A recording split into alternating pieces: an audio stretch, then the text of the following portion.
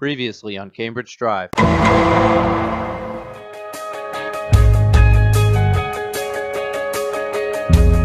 And now that you're all caught up, let's continue, shall we?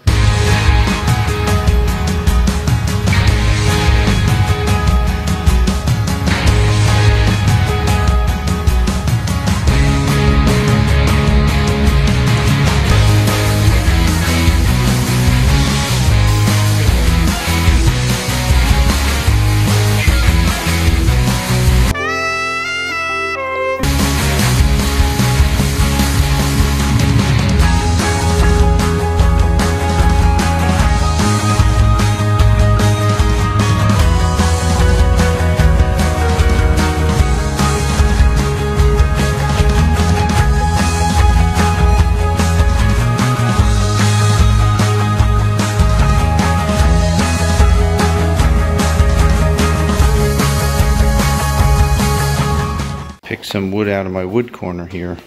Well, this one's knotty. It's walnut. Get it? Okay.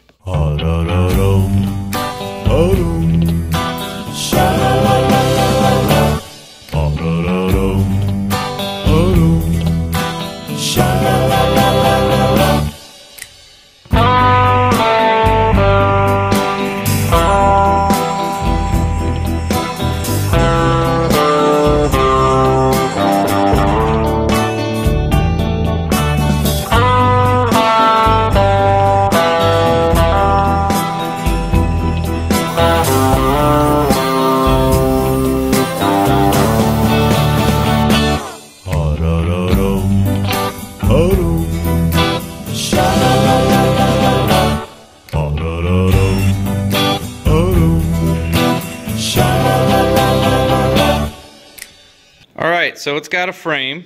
I think the frame looks very wonderful. Woo! Woo! It's very late. I want to let this epoxy kind of set overnight anyway. And as you can see, I have lots of cleaning up to do. Lots and lots and lots and lots and lots. And hey, scratches. Turns out if you put it on its uh, face, it gets scratched up if you move it around. I knew that.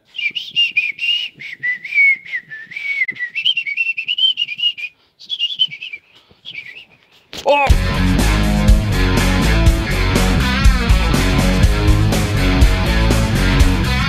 I just went through and sanded all of the visible imperfections out. Took a long time and a lot of sandpaper, but I'm gonna wipe it down and it should be pretty good. At Lowe's, looking for some sandpaper. Oh yeah, now we're talking. Oh, two, three thousand. Use three thousand so we can buff. Now to find LEDs. All right, I got some lights from Lowe's.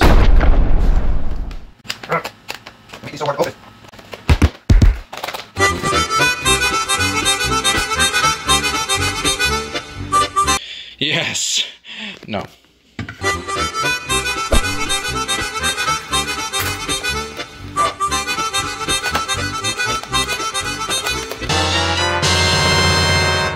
Moment of truth. All right.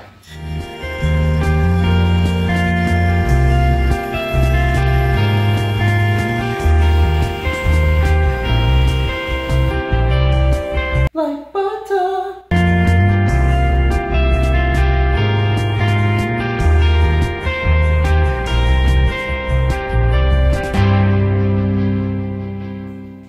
Oh yeah. Oh yeah, look at that. Yeah. That's It looks great. Did I mention it's dimmable? When you only want a little bit of sunshine. Ooh. Ooh.